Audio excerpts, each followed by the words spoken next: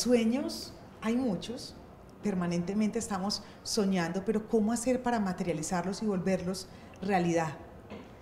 Sí, esa es una muy buena pregunta. Eh, y yo creo que la palabra es disciplina.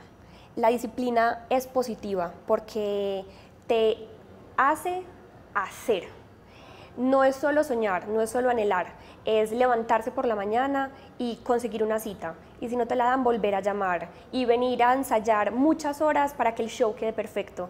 Y si no puedes hacer, contratar a alguien que ponga las luces, entonces aprende tú a poner las luces.